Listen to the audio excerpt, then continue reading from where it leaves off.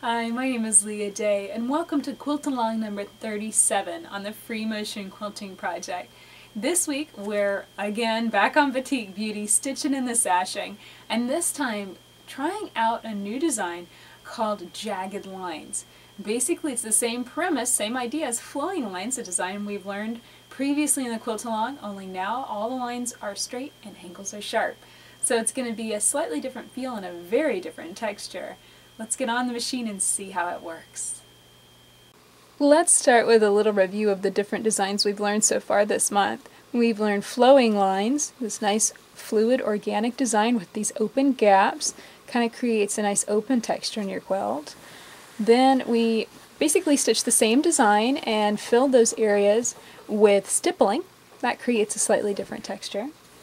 And then one more variation is Again, the same flowing, design, flowing, flowing lines with these big gaps filled with paisley. And this is a really great way to practice stitching paisley and pivoting designs. Now let's uh, change gears and try this out one more time. Uh, a couple more times actually. This week and next week we're going to try out two more designs using the same formula. And this time we are going to stitch uh, some straight lines and sharp angles. And basically it's the same flowing line design, only this time jagged lines because everything's going to be nice straight lines, sharp angles. Here we go. Again, this is an edge-to-edge -edge design, so I'm going to be working along the edges of this block, stitching, uh, travel stitching along both edges, uh, and just simply running along these ditch lines that were already stitched when I filled these blocks with other, de other designs. Here we go.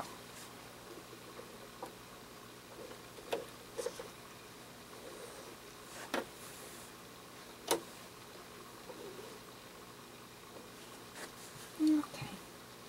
Pull out my bobbin thread, tuck them underneath my foot, and get started. We're going to start with just simply a zigzaggy line, working from edge to edge.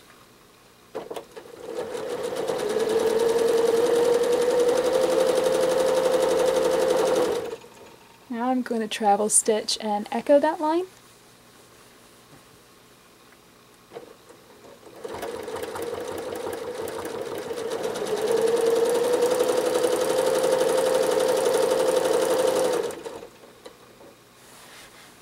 Okay, and just like before, now I'm going to form a gap line by zigzagging off.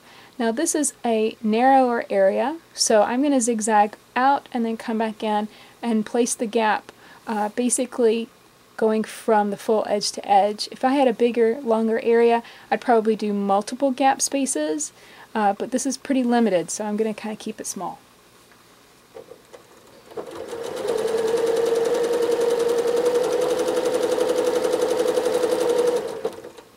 Travel stitch down, travel stitch over, and echo back up.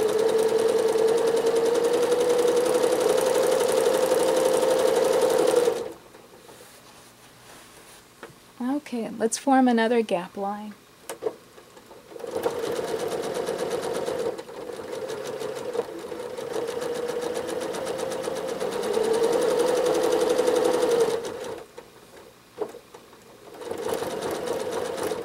travel stitch along that edge and then echo back up.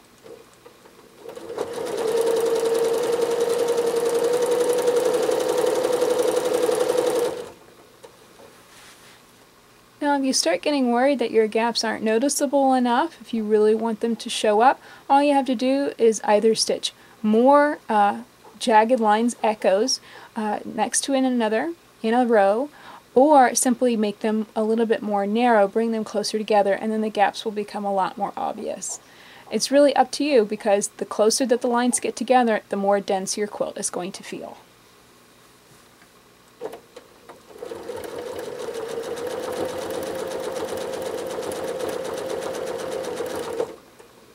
Want to form another gap and I'm going to hit it out here. So I've travel stitched along the top of the block to give myself a lot of space and now I'm going to zigzag and get to this point.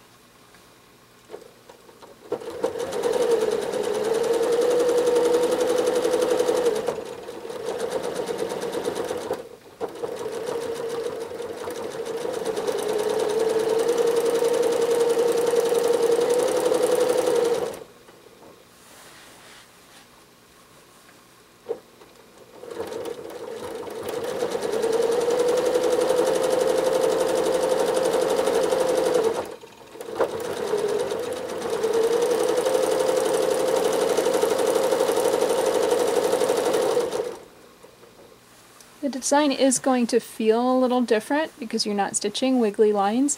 Straight lines and sharp angles will just simply feel differently as you stitch them, so play with it and see which one works best for you. Now I'm just simply going to stitch in and fill into this area. As I work off the edge of the block, I'm going to stitch a zigzaggy line to connect these two blocks together so that way I have something to work off of. There's a lot of different options for stitching across sashing, but that's the option I like the best.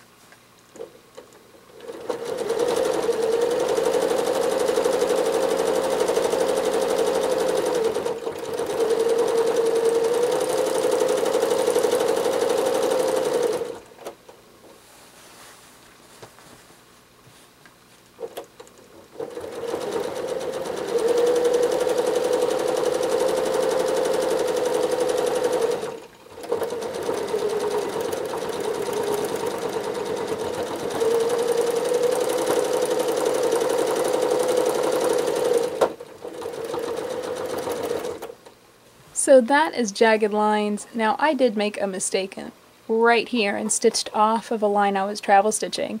And it's pretty noticeable in this quilt, in this particular design, that I messed up right there. And I don't want to go back in and just try and cover it up with more stitching. Sometimes that just doesn't work if you stitch off considerably.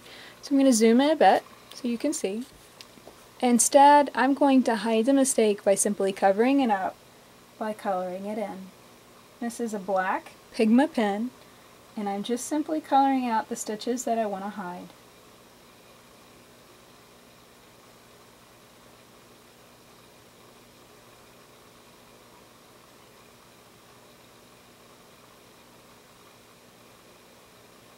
Of course, of course you'll want to test and uh, make sure to heat set to make sure that that works on your quilt, but that is a tip that a lot of people use for hiding mistakes when there's just a subtle stitch off. So that is jagged lines stitched in the Batik Beauty quilt. So that's it for this tutorial. I really hope that you'll give jagged lines a try and stitch it out in the sashing of one of your quilts. Sashing is one of those areas that a lot of people leave blank and empty and open and that's a real shame because it's a wonderful place to play with a lot of different textures for your quilts. Of course, if you're looking for different designs, a wider variety, check out this book. This is 365 free motion quilting designs. And within the book, you'll have some nice, beautiful pictures of all the designs posted to the project between 2009 and 2011. Hundreds of designs to choose from. No, it's not a tutorial how-to guidebook. It's a photo book. It's a picture book meant to be inspirational and show you many, many different designs. All of these designs have videos posted to the project so you can look up their names, find their videos, and learn how to stitch them in your quilts. Of course, if you have any questions about this particular video, definitely get on the Free Motion Quilting Project, ask your questions, post any comments that you have about it, and of course, link up, share a photo or a uh, even a video if you want to um, of you stitching out the design and your take on it and ask any questions that you have about it. We're linking up and following along, quilting along together, so that way we can all get the hang of free motion quilting on our own quilts. And you can find all of that information and more at freemotionproject.com. Until next time, let's go quilt.